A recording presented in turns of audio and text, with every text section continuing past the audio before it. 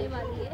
Supreme court ने जो है ग्रीन सिग्नल दे दिया है मूवी रिलीज़ के लिए लेकिन फिर भी कुछ लोग जो है इसको विरोध करेंगे क्या लगता है as a actor as a विरोध होगा तो पद्मावत हो गया ना। फिर भी विरोध कर कर-। देखिए पद्मावती फ़िल्म में प्रॉब्लम था। अब तो पद्मावत हो गया है। और कोर्ट ने भी ग्रीन सिग्नल दे दिया है। और पहले फ़िल्म ढाई घंटे की थी तो आधे से भी पौना घंटा कट गई है। बहुत सारे सीन्स कट गई है तो अब किसी को ऑब्जेक्शन नहीं होना चाहिए। और पद्मावती नहीं है, पद्मावत है। और आई डोंट थिंक सो कि अब किसी को भी ऑब्जेक्शन होना चाहिए फ़िल्म के लिए।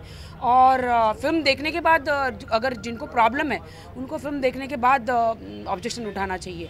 फ़िल्म तो बहुत अच्छी बनी है नो डाउट और किसी की भी यू नो आस्था को या किसी के भी कल्चर को आई डोंट थिंक सो कि ऐसा कुछ दिखाया जाएगा कि प्रॉब्लम हो सकता है।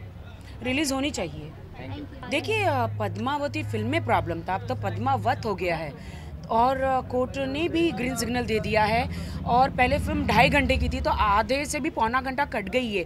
बहुत सारे सीन्स कट गई है तो अब किसी को ऑब्जेक्शन नहीं होना चाहिए। और पद्मावती नहीं है, पद्मावत है। और आई डोंट थिंक सो कि अब किसी को भी ऑब्जेक्शन होना चाहिए फ़िल्म के लिए। और फ़िल्म देखने के बाद अगर जिनको प्रॉब्लम है, उनको फ़िल्म देखने के बाद ऑब्जेक्शन उठाना चाहिए। फ़िल्म तो बहुत अच्छी बनी है नो no डाउट और किसी की भी यू नो आस्था को या किसी के भी कल्चर को आई डोंट थिंक सो कि ऐसा कुछ दिखाया जाएगा कि प्रॉब्लम हो सकता है। रिलीज़ होनी चाहिए।